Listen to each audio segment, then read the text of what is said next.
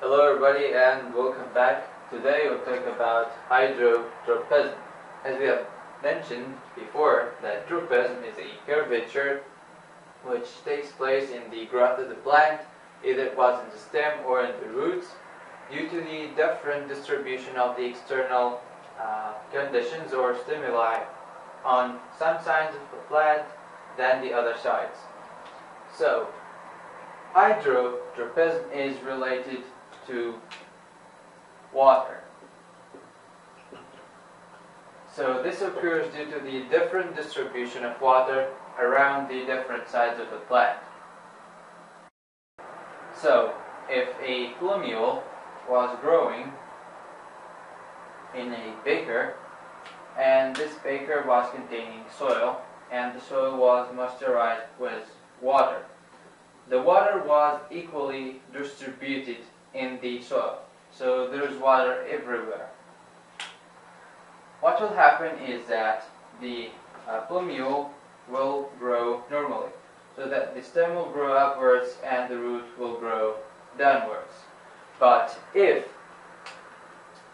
um, water was only, say, it was only found in the corners, in here. So what will happen? If water was found at that corner, the root will grow like this. It will go to the area where water is found. And this doesn't contradict with the gravitropism because the root is already growing downwards, but it, it's going for search in search of water. And the stem will grow in the opposite direction. Like that. And if water was found at that corner, the stem will grow to the direction of water and the stem will grow in the opposite direction. So this uh, curvature or tropism is caused due to the uh, auxins or the plant hormones just the same case as in uh, phototropism or geotropism. For the length of phototropism, click here, and for the length for geotropism, click here.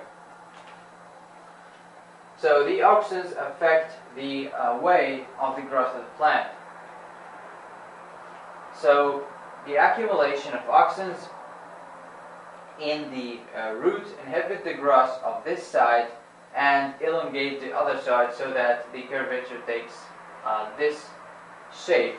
Or in this case the uh, concentration of auxins will be uh, more on that side. So it will in, uh, decrease the growth of this side and increase the growth of that side so that the curvature takes uh, place towards water and vice versa in the stem. At the place where the auxins are most concentrated the growth is induced while it's inhibited on the other side, so the curvature takes this place, this shape, or this shape. So this is it for today, and the next time we will talk about the nervous system in human. We will begin talking about the nervous and hormonal coordination. And uh, until then, thank you for watching and see you.